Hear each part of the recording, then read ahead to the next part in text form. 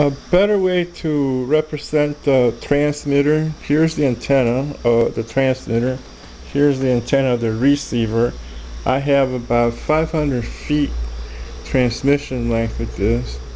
There's some of the program uh, there. As you can watch the LEDs, I'm, I'm a zero with the, this is going to be our aided uh, analog digital converter uh, simulator. Okay, watch the LEDs as I change as I change the, the, the analog to digital converter. It's transmitting the data per each transmit cycle. So um, notice too, it, it holds it pretty steady. Uh, it holds it steady and right now we'll go to 255 or FFF and bring it right back down so we don't make the movie too long. Slight increments.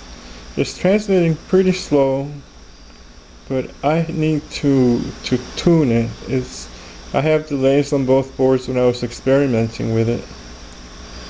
So we're gonna leave it there and here you can see the, the, the transmit rate, the little yellow LED. Every time it blinks it sends the, the six data packets. Mm.